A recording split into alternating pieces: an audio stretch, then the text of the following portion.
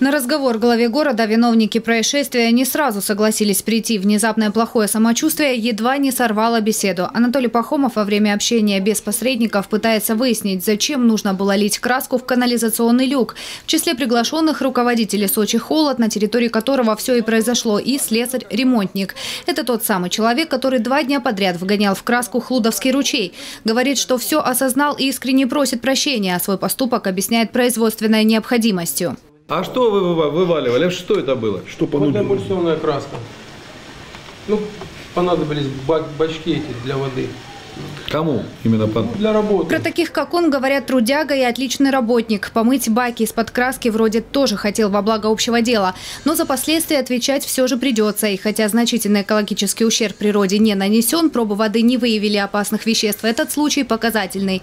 Пример, как банальная халатность одного человека может повлиять на жизнь многих сочинцев. Как привыкли э, сбрасывать свои стоки в реки, да, так и продолжают это делать. Э, мы подняли вопрос по полной программе, значит, э, и говорим, люди, что вы творите? Вы уничтожаете сами себя.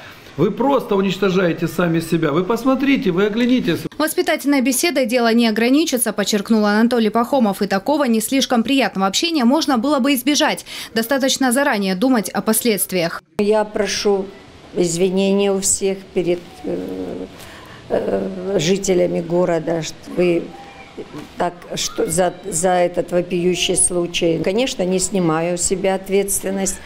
Вот. И, человек, который это сделал, сделал по, недо- по своему недоумению, по своей глупости, он, конечно, будет очень наказан.